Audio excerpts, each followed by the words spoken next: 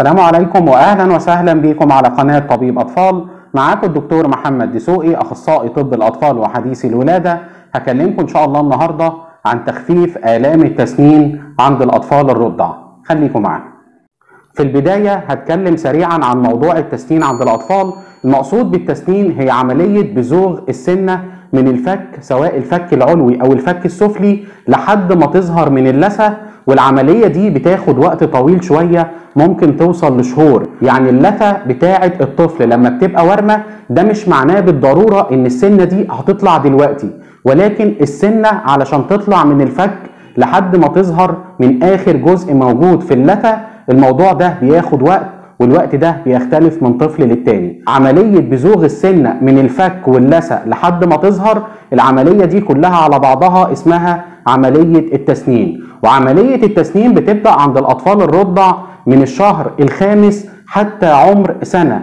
يعني الطفل بيطلع أول سنة ليه ممكن من أول خمس شهور لحد عمر سنة. ما ينفعش نقول إن الطفل اتأخر في التسنين إلا لو الطفل تم سنة كاملة وما طلعش على الأقل سنة واحدة. لأن الموضوع ده بيجيلي عليه أسئلة كل يوم. كل يوم في أمهات بيبعتوا لي يا دكتور أنا ابني عنده 10 شهور ولسه ما طلعش أسنان يبقى كده ابني اتأخر أديله كالسيوم إيه أديله فيتامينات إيه ما ينفعش نقول إن الطفل اتأخر في التسنين إلا لو الطفل تم سنة كاملة وما طلعش على الأقل سنة واحدة.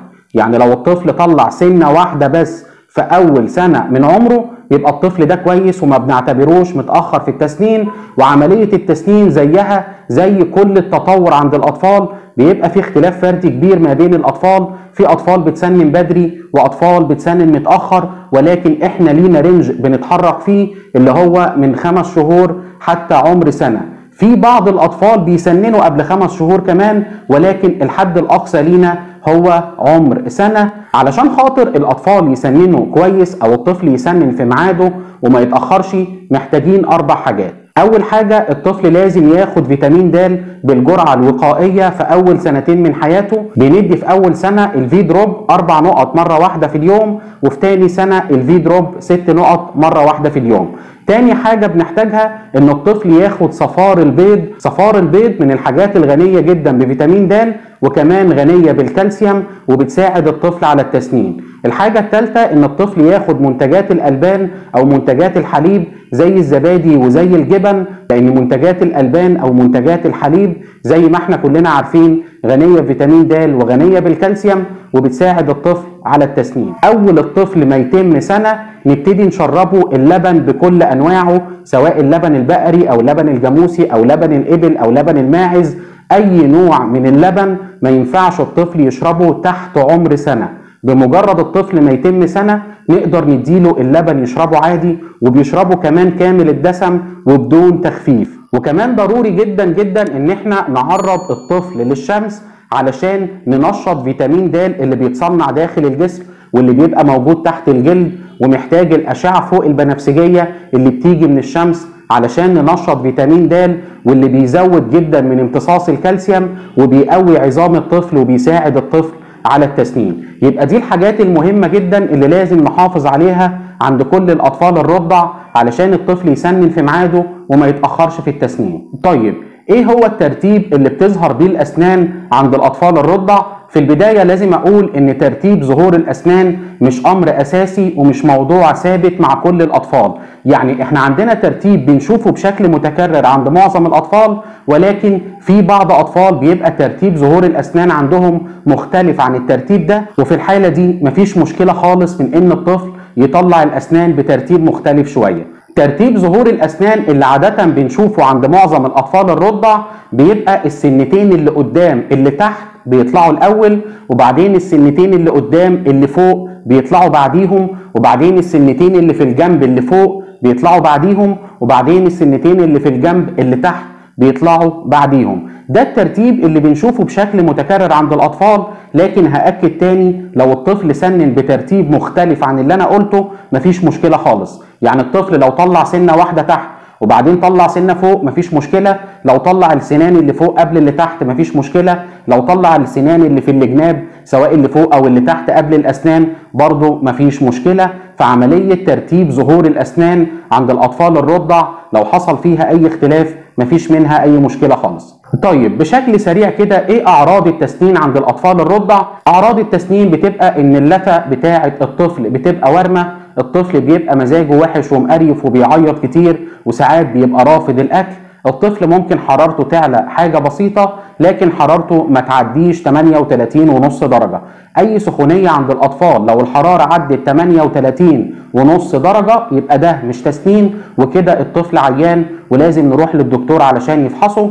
الحاجة الرابعة بعض الأطفال مع التسنين بيحصل لهم إسهال بس بيبقى إسهال بسيط خالص. يعني الطفل لو طبيعته مثلا بيعمل مرتين في اليوم نلاقي الطفل بيعمل ثلاث مرات وبنلاقي البراز بتاعه بيبقى سايب حاجة بسيطة لكن ما بيبقاش مية خالص. يا دوب البراز بيبقى سايب حاجة بسيطة وفي بعض أطفال ريحة البراز بتتغير شوية أثناء التسنين. الحاجة الخامسة إن الطفل يريل كتير أو نلاقي إفرازات كتير من الفم خارجة من بقه أو نازلة عليه ودي شكوى بنسمعها كتير جدا من الأمهات. الحاجة السادسه إن الطفل يكون بيشد في ودانه أو بيحط صباعه في ودانه أو بيخبط على ودانه أو بيهز في راسه كتير. دي برضو أحد أعراض التسنين المشهورة. والحاجة السابعة إن الطفل يبتدي يعض على الحاجات اللي موجودة حواليه سواء بيعض في ثدي الأم أو بيعض في إيده أو في إيد مامته أو في كتف مامته أو في الملابس. بنلاقي الطفل بيبقى عاوز يعض في أي حاجة بتقرب من بقه. نيجي بقى للجزء المهم من الفيديو وهو تخفيف آلام التسنين عند الأطفال الرضع. كتير من الأمهات بيشتكوا إن الطفل في فترة التسنين بيبقى بيعيط كتير وبيزن كتير ورافض الأكل ومزاجه وحش جدا والأم ما بتبقاش عارفة تتعامل مع الطفل إزاي أو مش عارفة ترضعه أو تأكله إزاي وإيه الحاجات اللي ممكن تعملها علشان الطفل يهدى شوية ويبطل عيط عندنا حاجات كتيرة جدا نعملها نخفف بيها من آلام التسنين عند الأطفال الرضع. أولها إن الأم تدلك اللثة بتاعة الطفل. في المكان اللي الطفل بيسنن فيه. الأم تغسل إيديها كويس جدا بالمية والصابون ضروري جدا نغسل إيدينا كويس جدا وبعدين تبتدي تفرك اللثة أو تدلك اللثة اللي الطفل بيسنن فيها سواء اللثة العلوية أو السفلية لمدة من 3 ل 5 دقائق وتكرر الموضوع ده أربع أو خمس مرات في اليوم. الموضوع ده كويس جدا وبيسكن من آلام التسنين عند الأطفال. تاني حاجة الأطفال اللي آلام التسنين عندهم بتبقى شديدة قوي والطفل بيعيط ويزن كتير قوي ممكن نستخدم مسكن عن طريق الأدوية الشراب زي الستال قطارة أو البروفين شراب لو كان عمر الطفل أكتر من ست شهور ولكن بنستخدمه في حالة الضرورة القصوى لو كان الألم فعلا شديد قوي وبنستخدمه بشكل مؤقت ممكن يومين أو ثلاثة لحد بس ما ألم التسنين يخف عند الطفل. الحاجة الثالثة إن إحنا نجيب للطفل عضادة ومن أحسن الحاجات اللي شفتها هنا هي حاجة اسمها عضادة الفواكه ودي بتبقى عبارة عن عضادة بتتفتح ونقدر نحط جواها قطع من الفاكهة والعضادة نفسها بيبقى فيها ثقوب أو إخرام الطفل لما بيجي يعض عليها العصارة بتاعة الفاكهة بتبتدي تنزل في بقه ففي الحالة دي هنبقى خففنا ألم التسنين عند الطفل وفي نفس الوقت ادينا له عصير طبيعي وغذيناه بشكل كويس. يفضل إن إحنا نحط العضادة في الثلاجه لمدة 10 دقائق أو ربع ساعة قبل ما نديها للطفل لأن الإحساس البارد أو العضادة الباردة لما الطفل بيعض عليها دي بتسكن آلام التسنين بشكل أفضل بكتير جدا. وآخر حاجة عاوز أأكد عليها الأطفال في مرحلة التسنين بيبقوا رافضين الأكل بشكل كبير فنحاول في الفترة اللي الطفل يكون بيسنن فيها إن إحنا نعتمد على الرضاعة أكتر ولما نديله أكل يبقى الأكل ده في قوام لين تماما وسهل البلع بالنسبة للطفل. وكمان وإحنا بنأكل الطفل بلاش المعلقة تلمس اللثة أو تخبط في اللثة علشان ما تألمش الطفل والطفل يبتدي يرفض الأكل. ويا ريت نستخدم الأكلات اللي طعمها حلو ومحببة بالنسبة للطفل. ممكن نستخدم الموز المهروس أو التفاح المسلوق والمهروس أو نستخدم البطاطا الحلوة المسلوقة والمهروسة. وأي حاجة نديها للطفل يا ريت تبقى باردة لأن الإحساس البارد دون بيخفف كتير من ألم التسنين عند الأطفال. الحاجة الأخيرة مرحلة التسنين مرحلة بيمر بيها كل الأطفال الرضع. أنا عارف إنها بتبقى صعبة شوية على الأمهات لأن الطفل بيبقى مزاجه وحش ومقريف ولكن هي فترة مؤقتة والطفل هيعدي منها إن شاء الله. فالأمهات معلش تحاول تستحمل الأطفال شوية في الفترة دي وربنا يحفظ أطفالنا ويبارك فيهم. ده كان الفيديو بتاع النهارده. يا رب يكون عجبكم. ما تنسوش تشتركوا في القناة وتدوسوا على زرار الجرس علشان يوصل لكم فيديوهاتنا الجديدة أول بأول. وأشوفكم إن شاء الله في الفيديو الجاي. وأنتم بخير وسلام وأمان. والسلام عليكم ورحمة الله وبركاته